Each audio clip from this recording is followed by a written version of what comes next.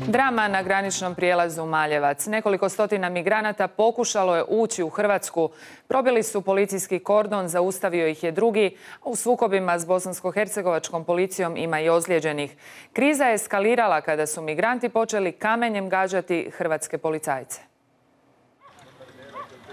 Više od 200 migranata već je danima stacionirano nedaleko od graničnog prijelaza Maljevac. Granicu su do sada neuspješno pokušavali prijeći noću. Skupina migranata tražila je otvaranje granice. U naguravanju je probila kordon bosansko-hercegovačke policije. Drugi ih je zaustavio. Na kamenje policija odgovorila suzavcem. Ozlijeđeno je nekoliko osoba. Hrvatska policija se postavila sukladno planiranim mjerama koje su e, razrađene za ovakve scenarije, za ovakve situacije. Niti jednom e, nije došlo u dodir Hrvatska policija sa samim migrantima. Bila je i na ovim snimkama je vidljivo da je riječ o postupanju e, policije Bosne i Hercegovine. O situaciji na granici ministar unutarnjih poslova Davor Božinović razgovarao je s ministrom sigurnosti BiH Draganom Mektićem. Dogovorili smo se e, ovdje da na određen način redukujemo kretanje tih migranata nakon njihovog ulaska e, u Bosnu i Hercegovinu prema Unsko-Sanskom kantonu ovdje ili konkretnije prema Bikaču. Granični prijelaz Maljevac zatvoren je za promet. S obje strane stižu policijska pojačanja. Mi raspolažemo sa preko 6,5 tisuća graničnih policajaca, a istovremeno i sa više od 2000 interventnih policajaca. Dakle, to je jako velika brojka.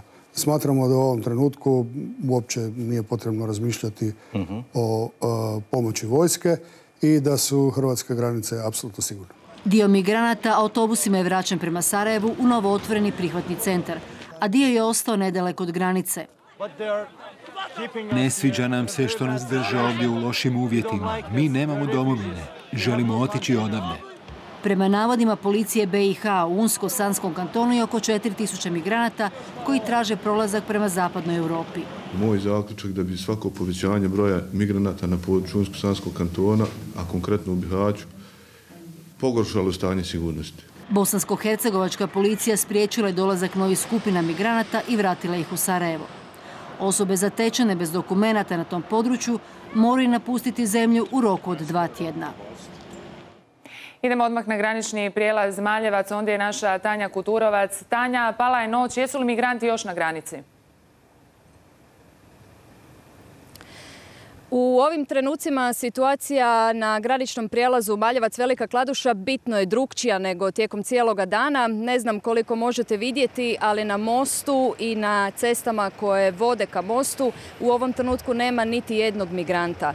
Prema pisanju bosansko-hercegovačkih medija, tamošnja ih je policija prisilno odgurala sa samog graničnog prijelaza stotinjak metara dalje.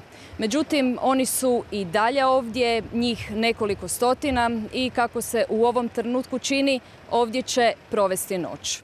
Na samoj granici, dakle na mostu, je i dalje nekoliko pripadnika Hrvatske i Bosansko-Hercegovačke policije.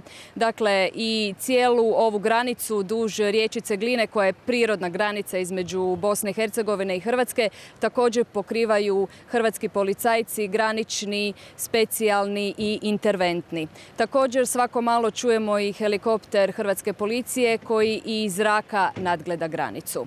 Granični prijelaz Maljevac Velika Kladuša i dalje je zatvoren za sav promet kao što je to i bio tijekom dana od 10 ujutro. Hvala ti, Tanja. O stanju na granici s ministrom unutarnjih poslova razgovarala i predsjednica Kolinda Grabar-Kitarović. Izvještena je da je sve pod kontrolom policije. Nije bilo hrvatske, ulaska hrvatske policije na bosansko-hercegovački teritorij, niti će biti, niti za time postoji potreba. Migranti koji su smješteni u Unsko-Sanskom kantonu su probili jedan kordon bosansko-hercegovačke policije, došli su do hrvatske granice i tu ih je zaustavila hrvatska policija. Hrvatska će kao što i do sada radi štititi hrvatske granice od nezakonitih ulazaka i migracija, naravno poštujući sve visoke standarde međunarodnog prava, humanitarnog prava i našega prava.